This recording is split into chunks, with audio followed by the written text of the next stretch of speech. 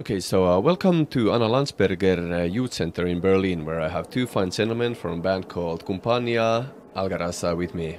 Gentlemen, first of all, welcome to Berlin.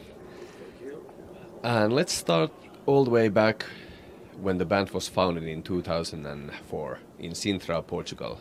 How did it all come together in the beginning? Uh, hello. Uh, we got together because we were playing uh, this kind of acoustic instruments, brass, etc.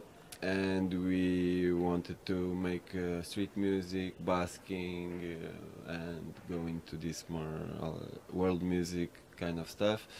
We were all coming from different backgrounds, jazz, rock, blah blah, and we we got together and slowly start to build up this uh, this identity and um, uh, work with this.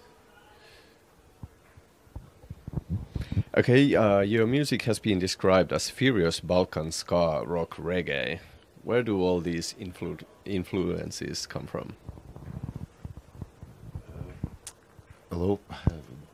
It's from the world. We we started in the street playing music. Then we gather, we meet a lot of different musicians and making exchanges in music, like as you say, I ah, forget the word, but when we exchanged knowledge and then we start to to absorb that kind of uh, more the Balkan language start to, to be like more a challenge as well for the musician when the, the, songs are really some of them really difficult you get more adrenaline playing them so we start the, this kind of voyage of trip around music world music and yeah and it's an opportunity to to have uh, not one just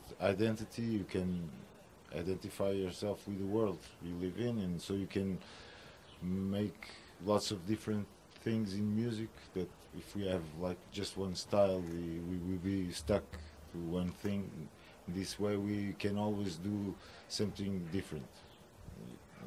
We have that uh, possibility so it's very free. We are like free in, in the music. So we don't have like oh yeah we don't make it like pure fado. Like Francisco he, said because we don't have Portuguese guitar guitar and the, the, that formation we adapt to make like a fusion it's big uh, as well you can say big responsibility but it's not our responsibility because we are maybe crazy band for we don't see like see us like very serious musicians that do it very professionally like the, the style of fado. We are like free music. We can mix everything and we try to do it good or in a happy way so because fado has a roots of sadness as well because it's for this old society that was like that, the way of thinking, because if, if it's older of like religious old music for the, it's every every musician has his own way, you know. So we don't, we have ours, and it's we try to keep it the most free.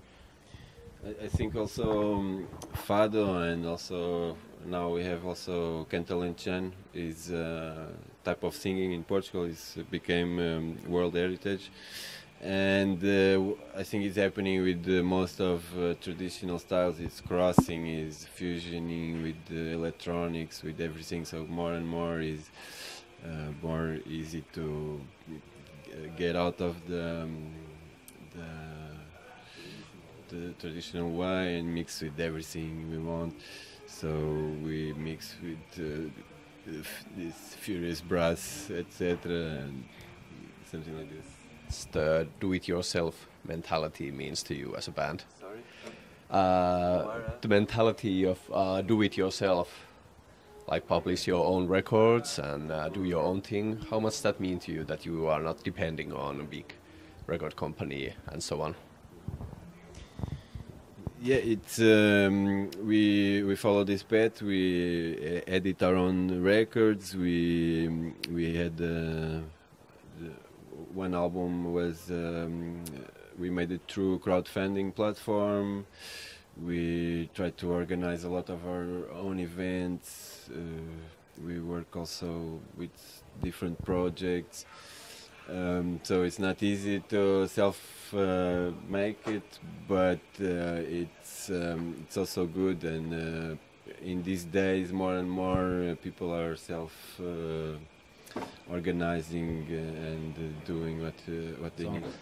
but but it's mainly about this is freedom you have to so you you you, you have to live free so you don't get caught in the in the system this kind of do it yourself is one way because if you have an um, like a machine that's pressing us to do something we will not we we can do it but maybe we start not being ourselves so we, this way we can always be ourselves and bet on ourselves, not being part of the game. Like in, we are not, we are free, you know. So yeah, it's our the since the beginning is like what we try to keep it this way, so we do, we can be anywhere as well and no with no problems of conscience. we have- no anchors. You know, try to. Yeah, but it's not easy. it's a fight. And you have played in streets, clubs, and festivals. Uh, is the live experience different depending on a venue for you? Or how do you feel about, uh, for example, the leap from a street gig to a big festival is quite big? How do you feel about that? Yeah, it's uh, very different, I think, for us. But uh, well, in one way, we will play and we will do our best, and uh, but it's completely different to play on street gig. We have um, direct contact with the people, very close. Also, normally we have. Um, uh, also different repertoire, for example, um, different stuff we do with the audience, and on the st- on the stage, uh, it's it's different. It's, it's um, uh, the audience is more not so close, but also you are creating a bigger magic, let's say, and. Um, anyway in both both kind of gigs street gigs wedding gig stage gig it's always uh, some kind of uh, bit of rush and uh, also we c- al- always want to try take enjoyment out of it so is it a small gig a wedding with 50 people or a festival 10,000 we do our best and have a great party with- with 50 people or with 10,000 that's what we try. something like that. No, it's we have been working in the new album, so we try to make one or two surprises of new songs and the new arrangements we've been making through this time. So and the usually part uh, part of the, the thing is the party. We always want to to be in a party, so we we make a party to be in, so or we try to hope to to help in the in the party we are in. So it's our duty to make something. Most of the thing is improvised because we always have new audiences, new persons you can see in the, in the audience, so you can make something out of that new a new moment in in our life. So. Okay, and uh, this summer touring is a big part of your summer plans. So, how is the touring life with uh, band this big? Band is big. Oh, it's uh, complicated, but we are um, used to it. Or so but we are going like Belgium, Cocopelli Festival, Iboga. We, we have sometimes we have to go in a van or two, and argue a lot, fight a lot. We just smash each other like until I live, I survive. no, it's okay. No, but it's it's uh, sometimes it's it's always good, but sometimes you get more tired. Depends of the you know it's too much. We are not so much, but 10, 8 people. Sometimes maybe one or two more for technicians, but but it's peacefully and yeah, it's adventure. But people we like nature, stop and go swimming, then go drink some beers, then go swim again, then play Yeah. music, then uh, drink have, a um, lot. We have a great crew now. It's real pleasure to travel with the guys, and we meet incredible people on the road. The gigs uh, is great. It's it's a pleasure. To, We and, have new ideas because we give a right to somebody that knows to sing something and we oh let's make a song together and something always can happen it's very it's good it's good Okay, and uh, to local business, having arrived just today in Berlin, how familiar are you with the city and how do you like Berlin? yeah, we love it. yeah, yeah, Yeah, we like very much. It's already- We've been already three times, I think.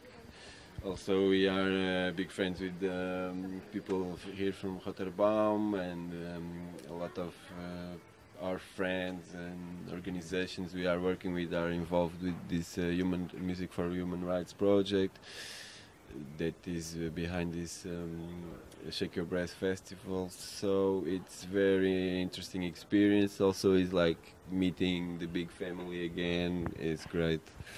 It's it's a pleasure. Beer is great. beer is big that's that's it. Okay, and lastly, uh, you are doing uh, two shows here in Berlin tomorrow on 6th of May and one show on the 7th. What are your expectations for those shows? On the second show, we will be a little bit more tired and drunk. Maybe no, I'm joking. Uh, it, I think it will be great. The first will be here in Niga. yeah So I think it's a great space, open area, uh, um, you diverse crowd. This will be good. Also play with all our friends and uh, bands from Italy and people from Serbia, all the places. And um, then in the night we will be in SO. 36 Uh, SO 36. This we already know. It's famous club, underground, old school place. So we're gonna love it for sure. the 7th will be And on Sunday, it will be in Berlin uh, yes, we it will be know it's in a different uh, s- a different spot sorry, Y- it's in another You can al- always check our Facebook. Uh, all the info is there. Kumpania Algazarra. And uh, yeah, but we are uh, we can't wait to to rock these shows. It's gonna be great. All right, so uh, we're gonna see you tomorrow on SO uh, 36 then, and thank you very much, guys, and uh, you know, break a leg. Thank you. Thank you.